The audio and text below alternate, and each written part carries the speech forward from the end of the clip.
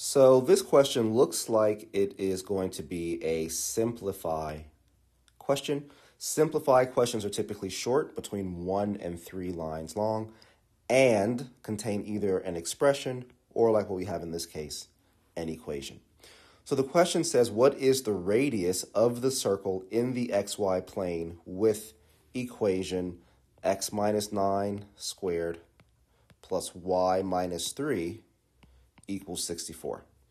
So this is a very interesting question because this is technically not a circle equation.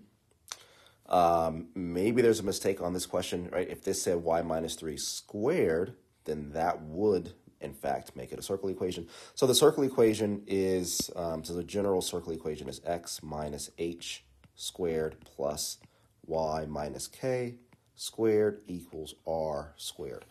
I am going to assume that either the copy of the test that I have access to or the actual test itself um, made a mistake and that there should be a squared here. I'm going to assume that for this video. If I'm wrong, please put in the comments and let me know that I'm wrong and I'll revisit this.